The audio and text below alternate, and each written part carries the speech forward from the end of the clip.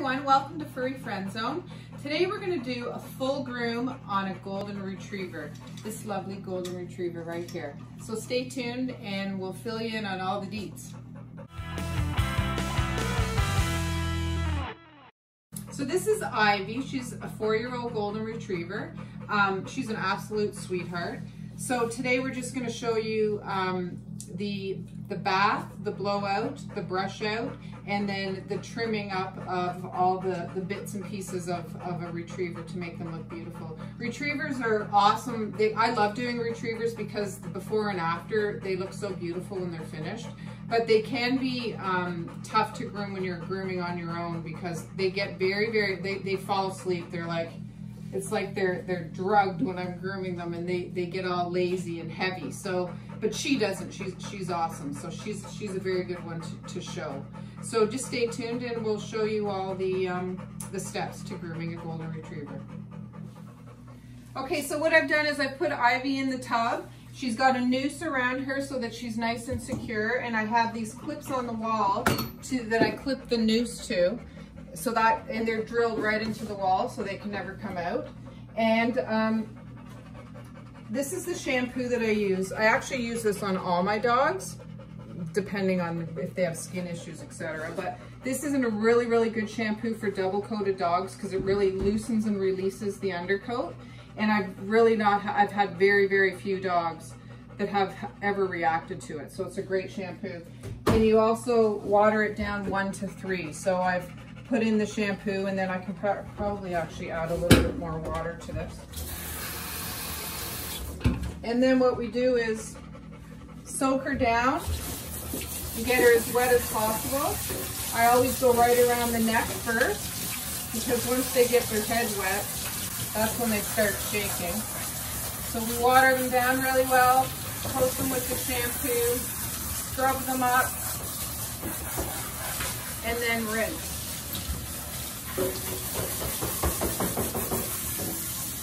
Right, Ivy? You good girl? You good girl? Yeah? You're a good girl. Yes, you are.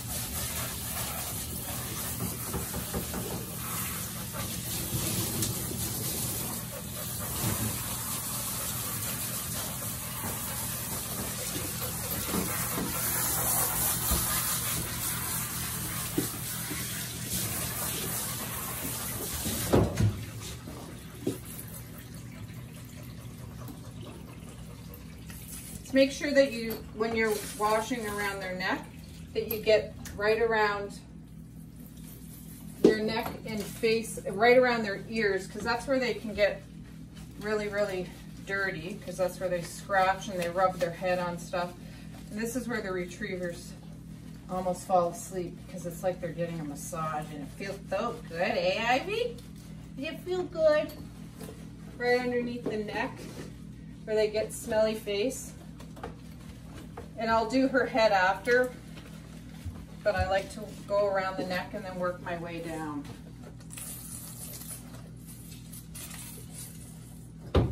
Make sure you scrub in really well and make sure you really get the feet because obviously they're the dirtiest as well. You need good little pedicures going on here, right? Ivy's panting. She does get a little bit nervous, but she's fine.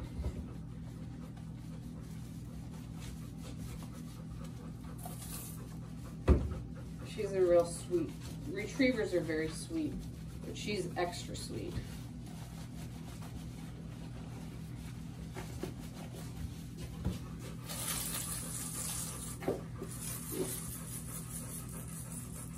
Just make sure you have enough shampoo on them because you really want them sparkly clean. In this area back here is another area where retrievers get really, really matted. So you have to really wash that out well. And then make, make sure that you brush it. Sometimes retrievers come in and um, they're so matted back there that you can't even brush it out. Like she's got a few mats, but these probably, once it's washed, they'll brush out. No problem. They, this is where the hair back here is usually like kind of a different texture and it's much thicker. And that's part of the reason why it gets matted. So what I've done is spun her around and done the other side. And then now I'm gonna just do her head.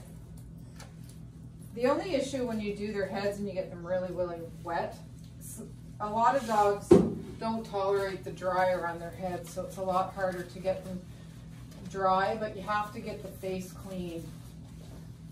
So, and make sure you, you don't get water in the ears. That's another, a lot of dogs are prone to ear infections and water in the ears. If I know that ahead of time, I put um, cotton balls in their ears.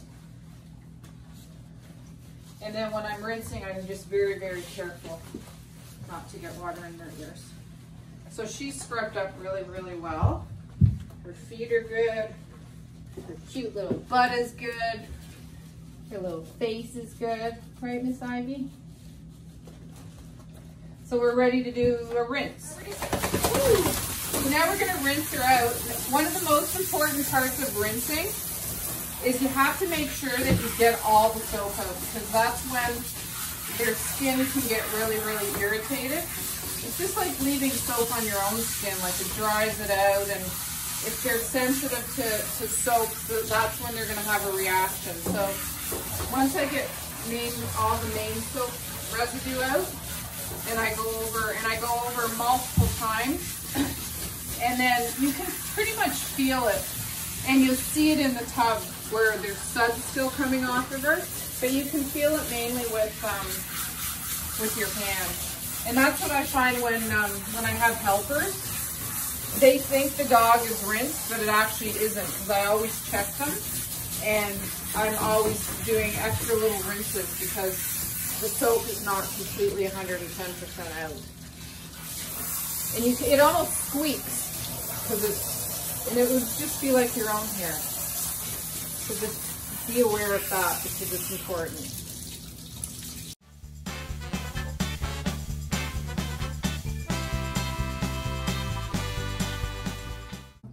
So now she's all rinsed off and I can feel that she's squeaky. So then I get a towel and this is important too because this saves a lot of drying time. Take a towel and really, really towel dry them as much as you can so that all the excess water comes out in the towel. But go all the way down the legs, the feet, go underneath. With a bigger dog, you probably need two towels. And then you'll fill the weight of the towel. So all that water that you got off of them, that helps too. Right, Ivy? That's a good girl. Yeah, let them shake because that gets rid of a lot of the water as well.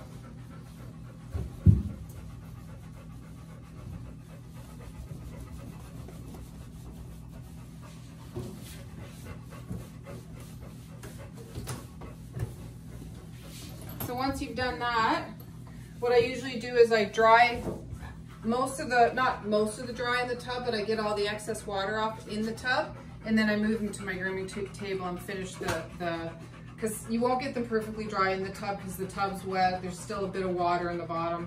So just blow off what you can and then, um, and then move her over. This is a good time to clean their ears. So what I do with that as you can see, her undercoat is already coming out. And oh, another thing I didn't mention with that shampoo, if you feel that a dog has a ton of undercoat, what I do with that shampoo is I scrub them up like I did with her, but I leave it on for like 10 minutes and that will really, really loosen it. She's, she, you don't need to with her, but um, with a coat, like, like, um, like say a uh, uh, German Shepherd comes in or a Bernese Mountain Dog, when they have a really, really dense undercoat, this shampoo's awesome for that. So now I'm gonna clean her ear, cotton ball. Get the hair off there. I soak it with this stuff, it's called Ear Clear. It's really, really good. Show Season makes this. It's a cleansing solution, but it, it maintains healthy tissue and it's got, it's got, um, um, what's it called? Witch hazel in it, which, which helps with um, yeast in the ear. And her ears are really, really clean. So I'm, I'm gonna guess nothing's gonna come on this, but I check them anyways. And we have another video on cleaning dogs' ears. Um, and I just go into more detail about ear issues and stuff like that, so you can check that video out. But it's important to make sure that the ears are clean. And the in, in the bath is the best place to do it for sure. Oops. And make sure you use two cotton balls, one for each ear. That's important too, because you don't want to pass anything from one ear to the other by using the same cotton ball.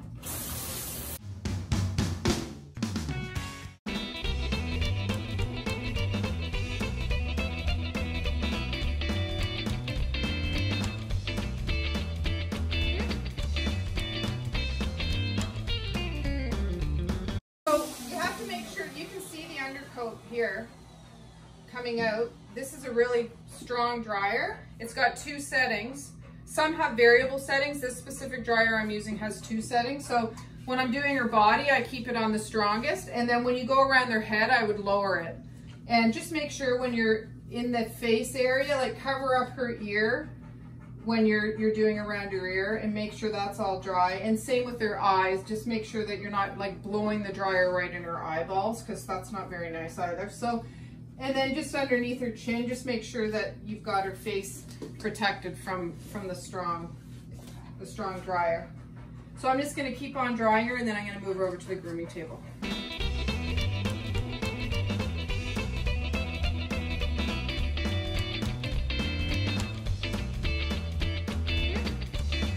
So I've, I've moved her over to the grooming table and I'm just gonna complete drying her here. Um, and as far as drying goes, you have to make sure that they're completely dry because retrievers are susceptible to hot spots and groomers um, tend to, for some reason, I've had people say, oh, the dog got a hot spot after it was groomed, but it could have been two weeks later and the dog could have been, after they get um, groomed, do they rub their face and outside in the grass and stuff like that? And hot spots can, they can come from bacteria or sometimes if a dog's not completely dry, that's why they get them when they've been in lakes and stuff like that. So just to save any issues, I just make sure the dog is completely dry so that if they do get a hot spot, it's not from, from the groom, which it shouldn't be because the dog is clean, but that's just a, just a heads up on that one.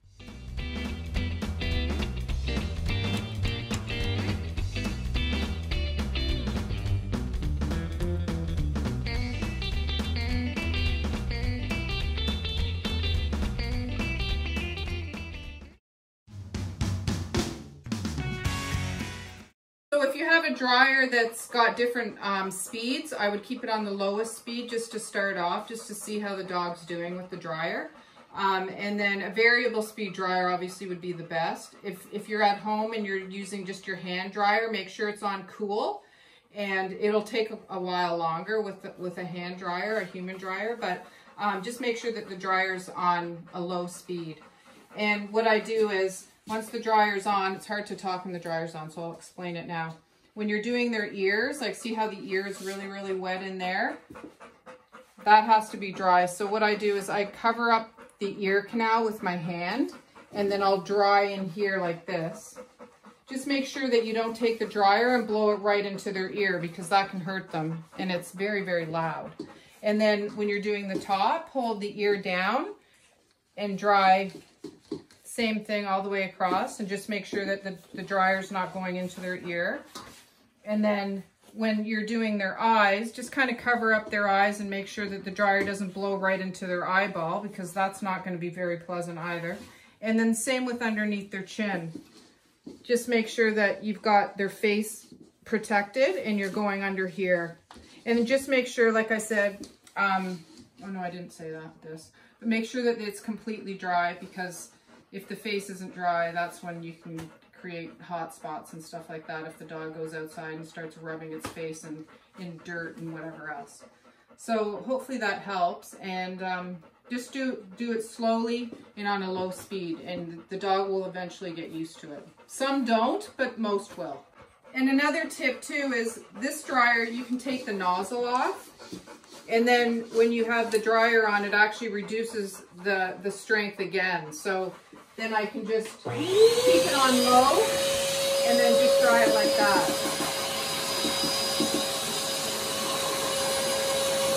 If the dog's really bothered by it, it'll take quite a bit longer, but That's another tip as well. She's really good with the dryer, so I'm just gonna put the nozzle back on and keep it on low. Another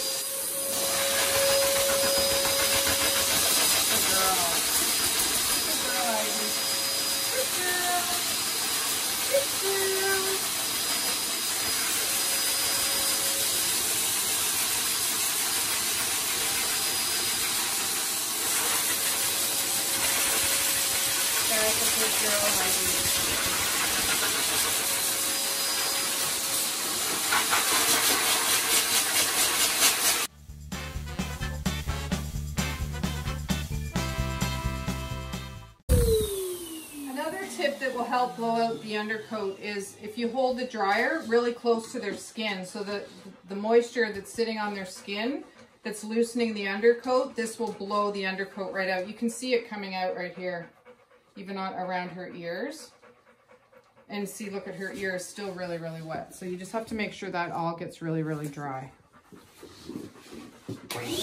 So Ivy's all dried out now, and as you can see, like she, the, the undercoat's been kind of brought up to the top. So I'm just gonna take a slicker brush. It's a fairly firm one. And I'm gonna make sure all the, the undercoat's brushed out.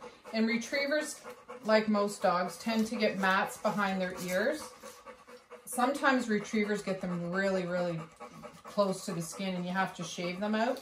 She doesn't have any right now, which is great. So we don't have to shave. And this is just gonna brush out all the undercoat. And she doesn't have a ton, but she definitely has some. You can see the little mats that are coming out. And so just make sure you run the brush all over her whole body, underneath her arms. And just be aware of how aggressively you're brushing because this, this is fairly firm and it could irritate the skin. If you keep brushing over the same spot over and over, it could irritate her skin. So just, and what I do in the back, I always call them the pants, when you're brushing this out, because this is the coarsest coat part of the coat, I always put my hand under there so that the brush is rubbing against my hand instead of their skin. And I can feel it on my fingers. You're lifting up your leg. And I can feel that she's got some mats there. And if I can't get them out with the brush, sometimes I have to take Sometimes I just take a scissors and I'll just slice through the mat. Just watch the skin. There's one there that I may have to cut out. You won't be able to see them with the, but you can definitely feel them. So just make sure that you're, when you're brushing, like I said, you don't go right on the skin. And yeah, she does have some. I'm going to have to cut them out or, or clip them out because they're they're too close to her skin they're right around her, her little crotch area. They're right in here. I can feel them. You can probably see them. So you can see the mats right there. And they're right against her skin. Like that's a big chunk of mat right there. And right here.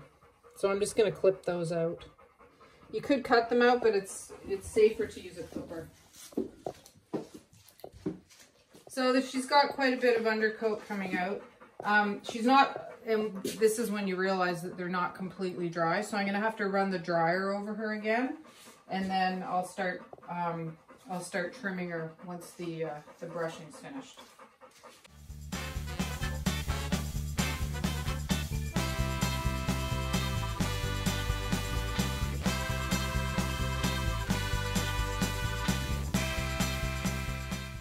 Now I'm going to trim her nails. Um, sometimes I do dogs' nails before I put them in. Larger dogs, it's easier to do them after because the bath sometimes soften, the warm water will soften the nails and they're just not as brittle. So I'm just going to trim her nails first and then I'm going to trim the pads of her feet and do the little lion feet first, which are my favorite on golden retrievers.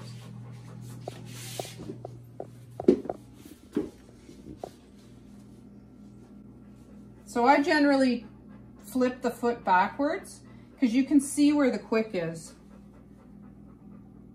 right there. So you can see, you, you have a better idea of where you can trim the nail back to. So I'm going to, good girl, Ivy. We have a full um, how to trim your dog's nails video as well as a how to trim your cat's nails. But this is just a quick little, and they don't love it. And make sure you don't forget the dew claw. The dew claw is the nail that dogs have the most issues with.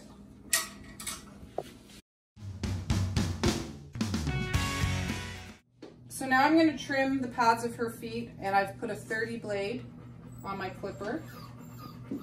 And this is just to get all the hair out of the pads of her foot.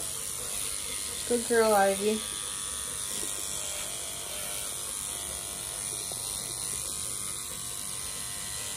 We also have uh, how to trim your dog's pads of their feet video. So take a, a look at that because it's a good maintenance thing to do in between grooming because that's usually people will say, oh, the dog needs to be groomed because the pads of the feet are long and if they're bringing in half the outside into indoors. So that way you can maybe extend your groom a little bit longer if you can if you can manage doing that on your own. Good girl, Ivy.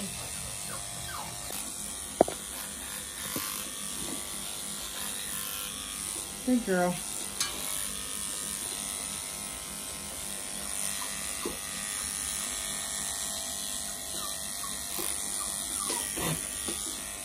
Stay, Ivy. Good girl. Stay, it's okay. Stay. Her feet are a little bit wet still. It's okay, puppy. Ivy, stay. Good girl. And then if you miss any hair, you can always get some of the, the longer bits around the sides. So with the retriever's foot, I usually take a four blade and I go backwards on the feet so I can get, I call them the slippers, so I can get some of the hair off the slippers. And I just go backwards and then I take the scissors and trim and then trim in between her toes. So you can see there's a mat in there. So just make sure you get that out. Watch your nose.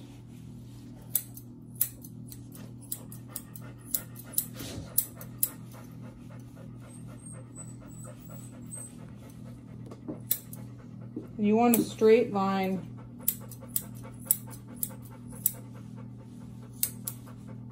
right around her. Stay, Ivy. Good girl. This is one of the things that with a retriever that really makes them look tidied up is when you can trim those feet nicely. You're not going to get it all the first time and she's not cooperating with me at the moment. Good girl. See, that one had a really big mat in between her toes. Oh, excuse you. That was a good belch.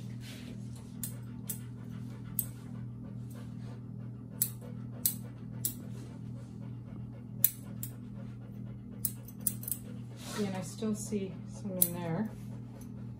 And then what you can do is Sometimes I use a dryer and I fluff the hair up, or I can just use a brush. Just brush back upwards. Stay. Good girl. There, and that does not look like a lion's foot? So cute. And then you can just go back after the, I usually do all four and then I go back and get all the bits that I maybe missed.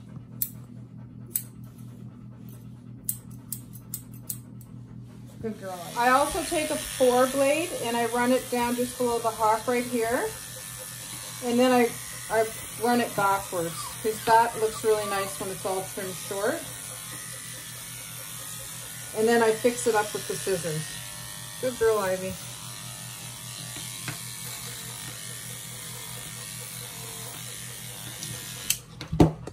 And then you can go back and just get any of the hairs that you missed.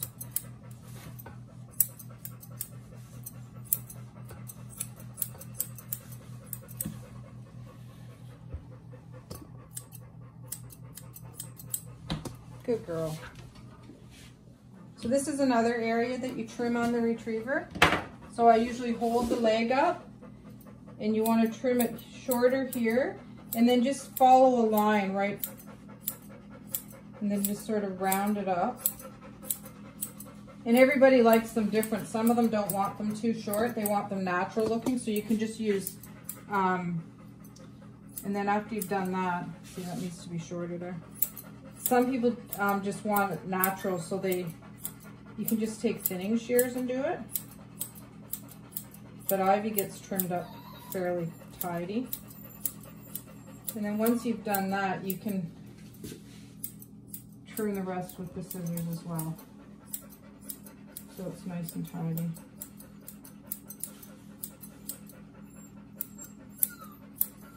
Good girl, Ivy.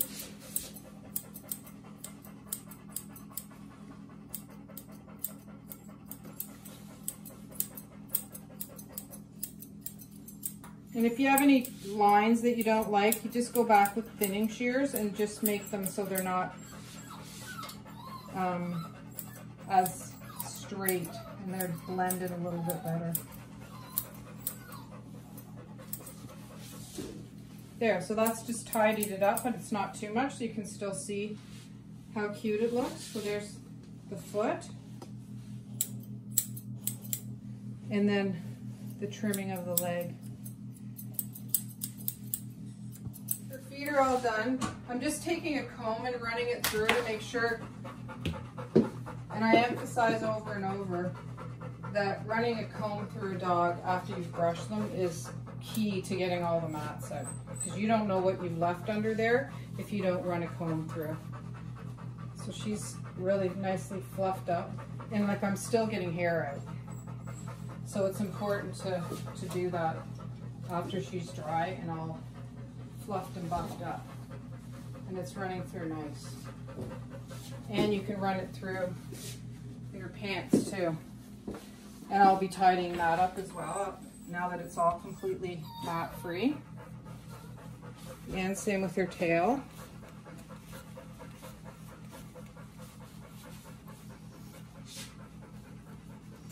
I see there's still a few knots I missed there.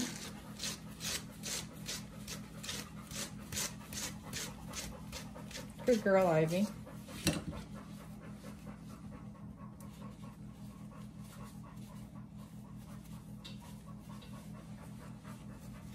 There, got them all.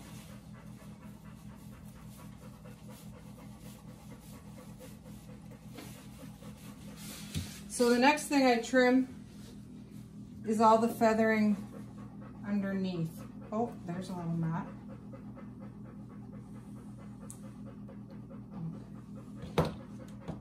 Yeah, see, I just found another little knot right here.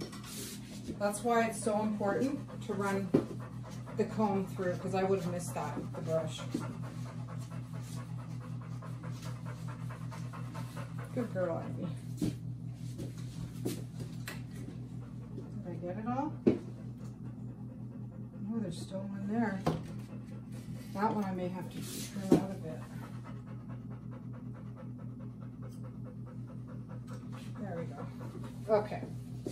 So now I'm just going to trim under here. Just make sure it's brushed nice. And then I usually lift this leg up. I start from just below the chest and go straight across. And I usually do one side at a time. So I'm taking about two inches off. So you can see, you have to be careful. She's a girl, but the boy is right here, stuff going on. So you have to be careful you don't nick that. And then I'm going more in the middle now.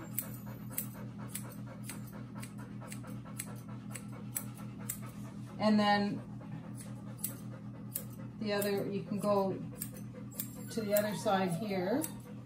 And then I usually go to the other side of her.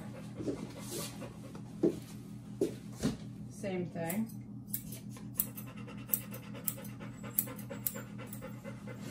Now I'm using curved scissors right now, and I was holding them probably the, the opposite way than what I should have, but it really doesn't matter.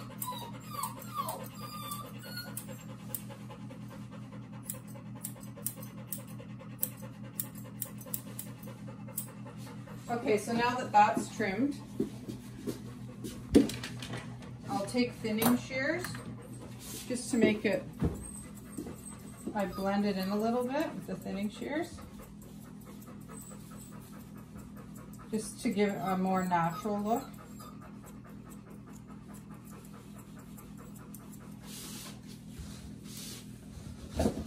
Same on the other side. So what I do with the head, I'm not finished the body yet, but um, the head, it's got a lot of flyaways, like on, on the top of the ears. And you see that after you've dried. So I just take the thinning shears. I don't generally take scissors. Whoops. I don't take scissors because this part you want it to look natural. So I just sort of trim under here. Can you see okay? And just blend in. Good girl.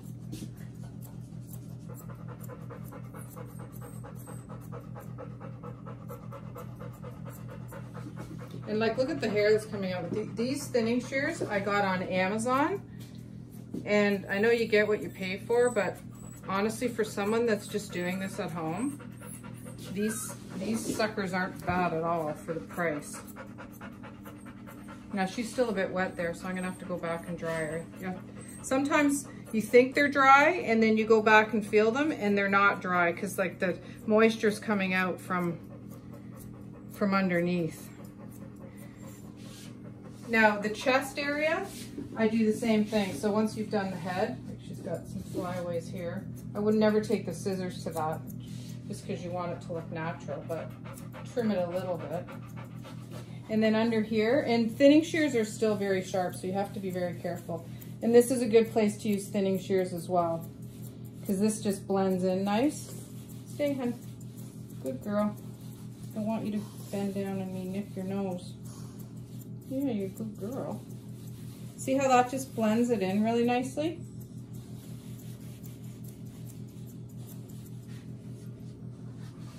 And then from the front view, you can see if you've missed anything under here, which I have. Just even it out a bit.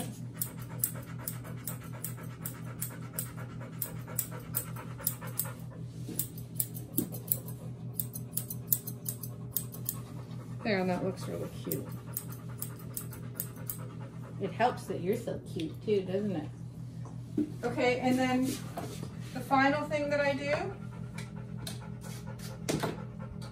I use the largest attachment comb, which is the E, on top of a 30 blade, and I just run, whoops, whoop, see that's what you don't want to happen. Now those just dropped, this is a good example these may need sharpened now because the moment they hit the floor, it could get them all messed up. So you have to be really careful. You shouldn't really have them on the table when you're grooming anyways.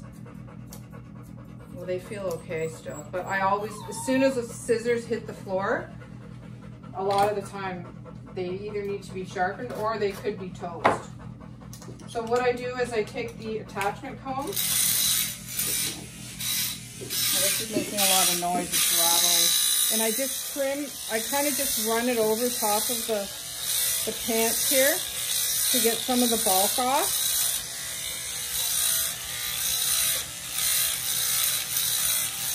And then I'll trim with trimming shears or scissors depending on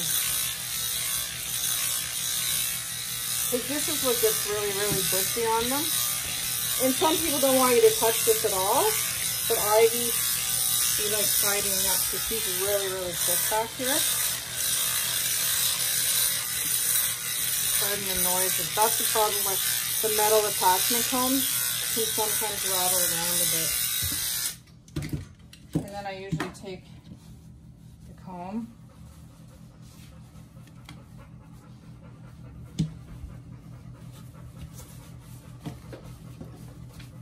You still want it to look natural, but you want it to look tidied up. And then the thinning shears, be careful when you take because they're sharp.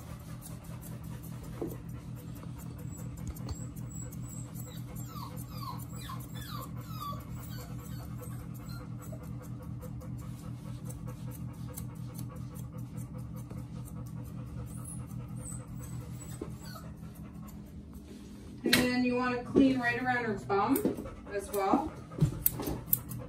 So just make sure that's all cleared out in there. But you don't want to go too high up her tail. Just make sure her little poop area is clean.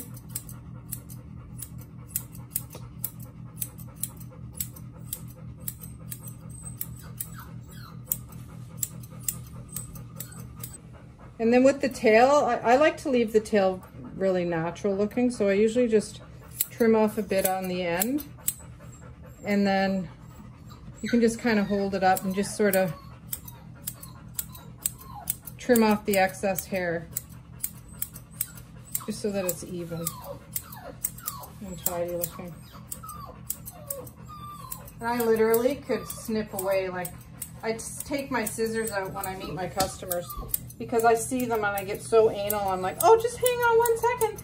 I missed a hair. And they're like, you're nuts.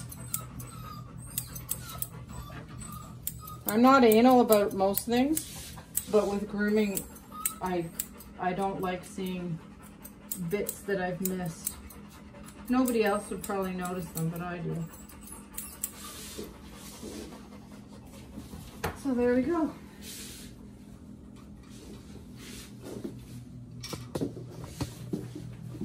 There you go, Ivy. You look beautiful.